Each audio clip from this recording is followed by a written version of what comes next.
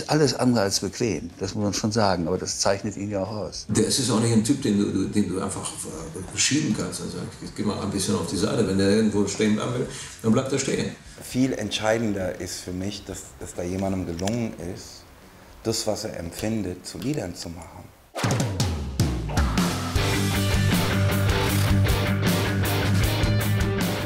Stefan Weidner, ehemaliger Bandchef der Bösen Onkels. Es gibt sicherlich keinen anderen Musiker in der deutschen Musikgeschichte, über den die Meinungen so sehr auseinandergehen. Niemand polarisiert so sehr wie er. Anbetung seiner Fans auf der einen, kategorische Ablehnung seiner Kritiker auf der anderen Seite. Aber woran liegt das? Ich möchte die Leute ja berühren und aufrütteln und bewegen. Und die Richtung bestimmt dann jeder selbst. Aber ich habe eine Ambition nicht und das ist die, es allen recht machen zu wollen und, und everybody's darling zu sein. Vielleicht liegt es daran, dass die meisten Menschen einfach zu wenig über ihn wissen.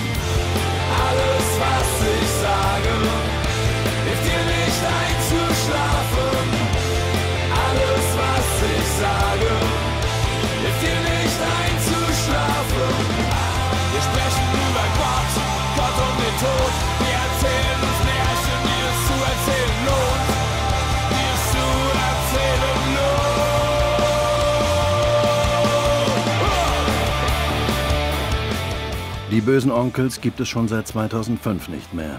Weidner ist seit nunmehr vier Jahren auch mit seiner Nachfolgeband Der W sehr erfolgreich. Das Debütalbum Schneller, höher, Weidner erreichte mit über 100.000 verkauften Einheiten mühelos Goldstatus und Platz 2 der Charts. Seit dem Oktober 2012 steht nun die dritte Veröffentlichung in den Läden. Aber was macht das neue Album eigentlich aus? Der wesentliche Unterschied ist mal der, dass, ähm, dass ich hier viel mehr mit meinen Mitmusikern kooperiert habe. Und äh, ich glaube, dass wir hier diesmal wirklich eine echte Band zu hören bekommen.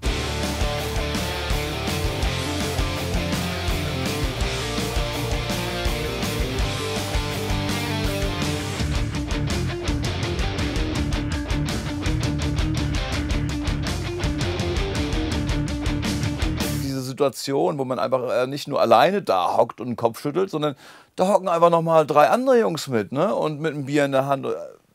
Alter, das macht Spaß. Das ist das, warum man ursprünglich mal eine Band gegründet hat. 1980 gründet der 17-jährige Stefan Weidner zusammen mit zwei Freunden seine erste Band.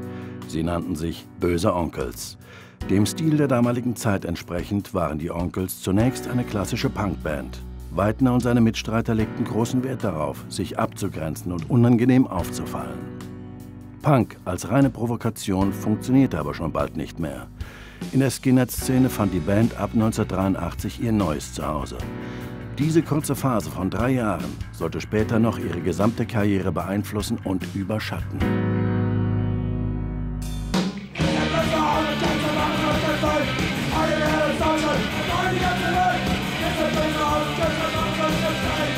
Ich will das nicht schönreden, aber es ist, äh, es ist zumindest habe ich das zu der damaligen Zeit als nicht besonders, äh, ähm, wie soll ich sagen, demokratiegefährdend irgendwie angesehen, sondern es ist einfach eher eine Geschichte, die, die tatsächlich äh, gedankenlos ist.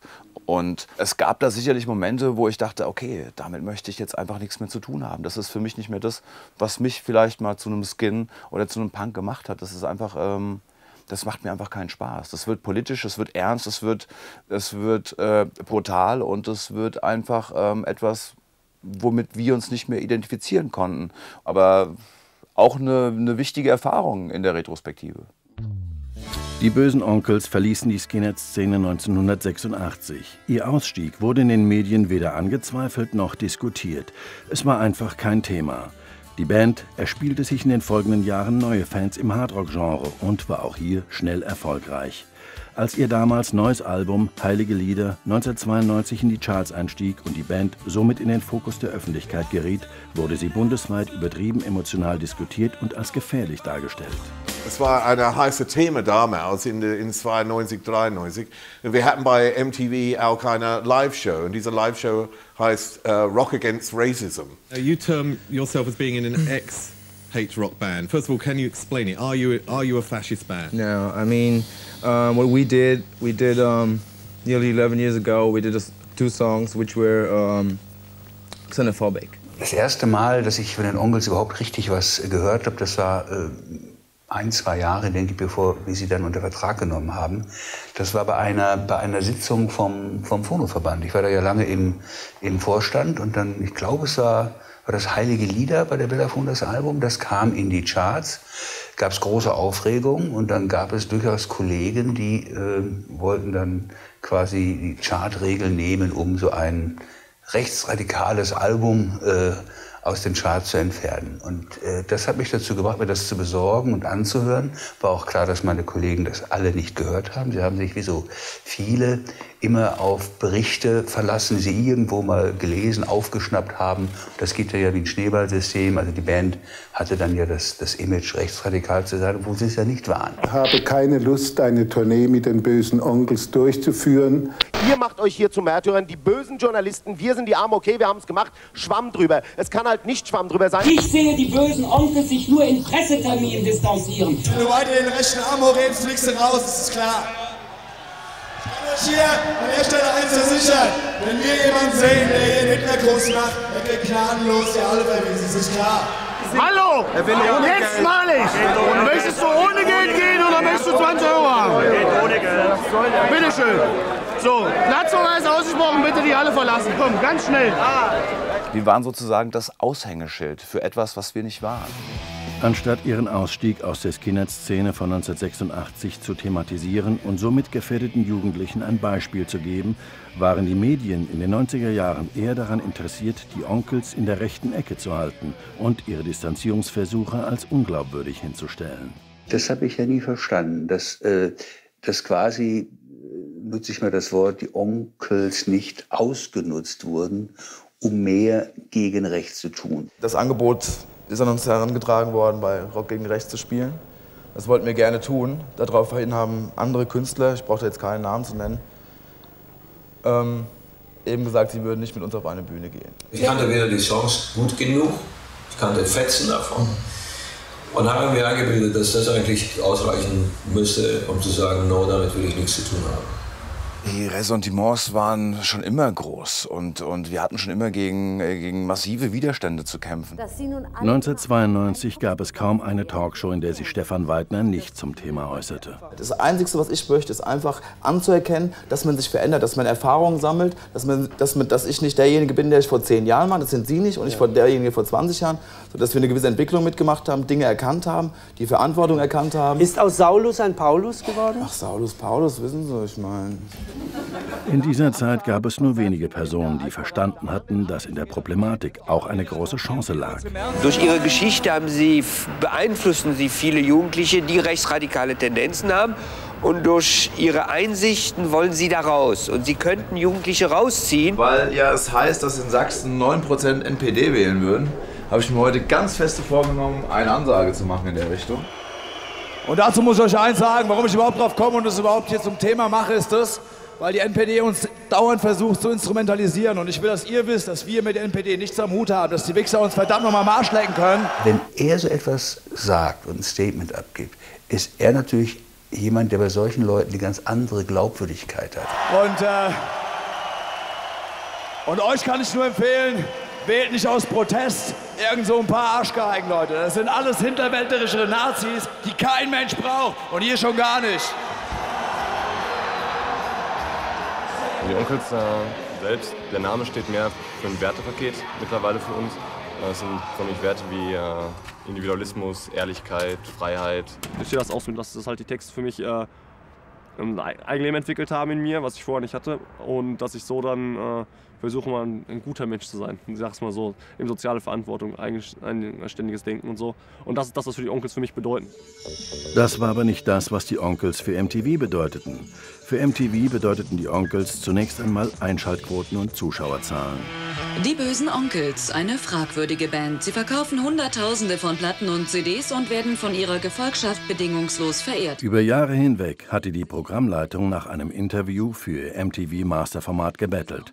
Gegen Ende 1999 gaben die Onkels schließlich nach. Ich als persische Redakteurin, ich glaube, ich war eigentlich ganz gut prädestiniert, diesen Job zu machen. Ich habe, glaube ich, über ein Jahr an diesem Beitrag rumgedoktert, weil ich auch mehrere Konzerte besucht habe, wahnsinnig viele Interviews gemacht habe und mir eigentlich alles selber zusammen basteln musste, was ich gebraucht habe.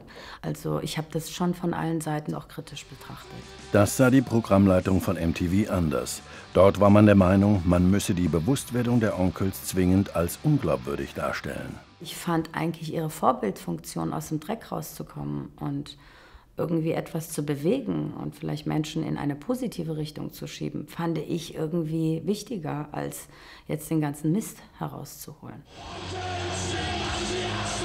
Die Furcht vor einem Imageschaden und vor dem Verlust von Werbepartnern war so groß, dass man den in langen Monaten recherchierten Bericht der Redakteurin noch unmittelbar vor dem finalen Sendetermin im Sommer 2000 mit Hilfe plumpester Bilder in einen extrem negativen Bericht umschnitt.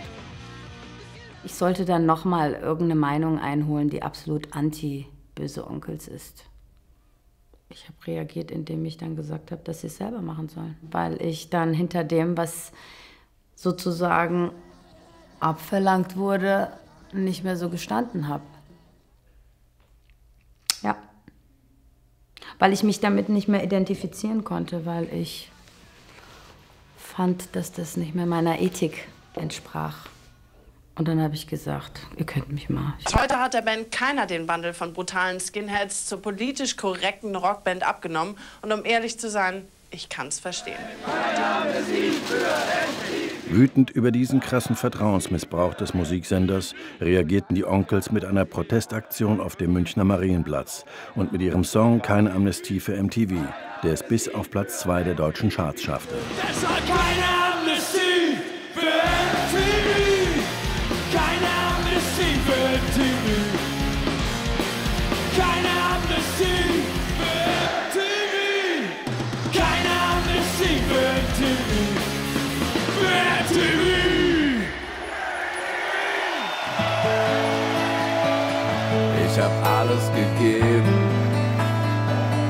meine Schuldigkeit getan.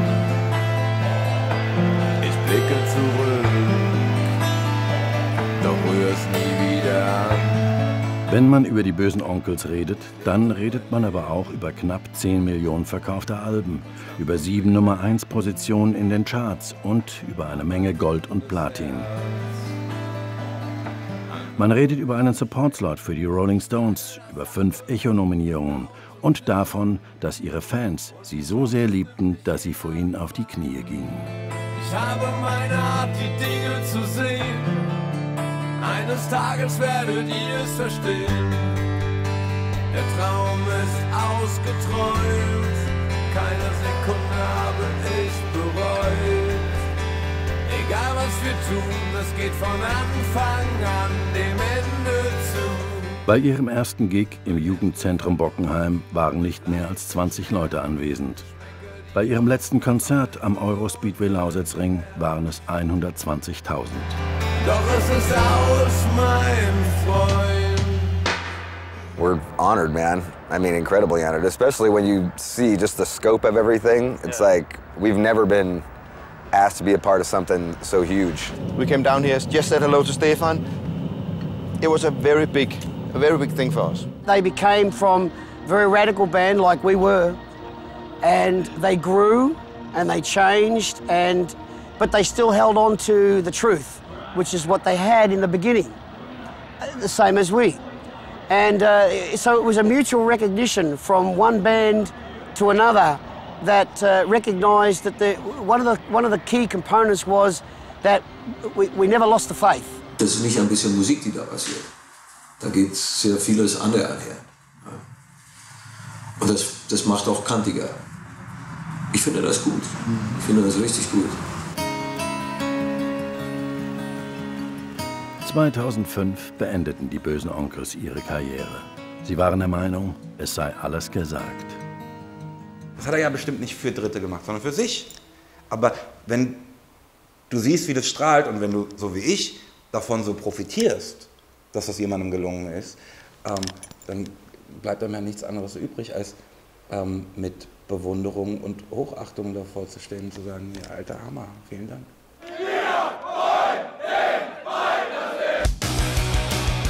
Die Rolle, die Stefan bei den Onkels gespielt hat, als Musiker, Texter, Komponist und Produzent, die füllt er auch weiterhin aus. Die Wurzel Stefan Weidner steckt in beiden Bands, aber die Pflanze wächst in eine andere Richtung. Nach Platz 2 und 3 in den Charts mit Schneller, Höher, Weidner und Autonomie folgte im Oktober 2012 der W3. Waren auf den Vorgängeralben noch zahlreiche Gäste wie Jakob Binser von DAD, Mickey D von Motorhead, Nina von Skew Siskin oder Jen zu hören, so verzichtete man diesmal gänzlich auf Beiträge von befreundeten Künstlern. Wir wollten ein Stückchen härter werden, wir wollten ein Stück ähm, erdiger werden, wir wollten ähm, diese Essenz, die wir eben als vier Persönlichkeiten sind, herausarbeiten. Und, ähm, und ich glaube, das ist uns gelungen.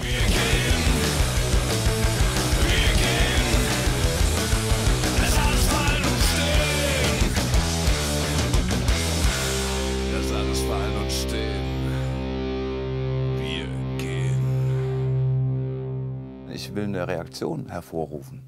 Und ähm, ich glaube, das will gute Kunst eigentlich auch immer. Und, ähm, und da ich eben halt noch mal zu der Generation, ersten Generation Punkrocker gehöre, ist das einfach in mir dermaßen tief verwurzelt, dass ich äh, gar nicht anders kann. Ich denke auch nicht drüber nach. Also ich sage jetzt nicht, äh, das ist jetzt kein Kalkül dahinter, wenn ich äh, einen provokanten Text verfasse, sondern es ist einfach, es muss einfach raus.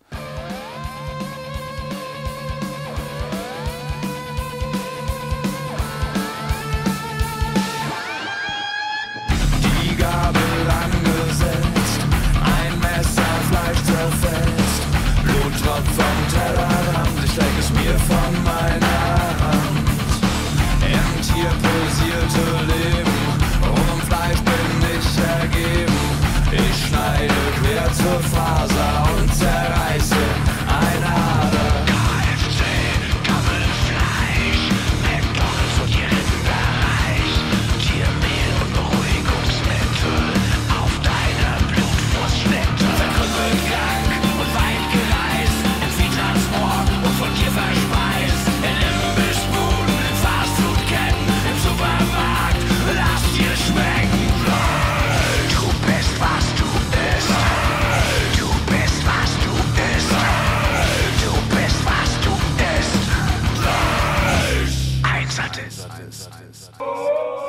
Stefan Weidner ist der W. Und der W ist eine Band. Der W, das sind Henning Menke am Bass, JC Dwyer an den Drums und Dirk Zuja an der Gitarre.